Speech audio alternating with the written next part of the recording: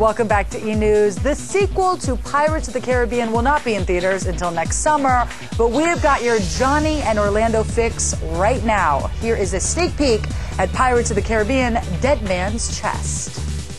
Yo ho, yo ho, a pirate's life for me. You have a debt to pay.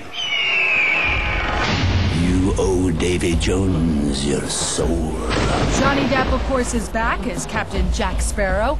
And this time around, everyone is saying there's more action and a little less romance. Either way, surviving's gonna be hell. You're a marked man, Jack Sparrow. I was nothing more than an almost innocent bystander. What about Jack? I can't leave without him.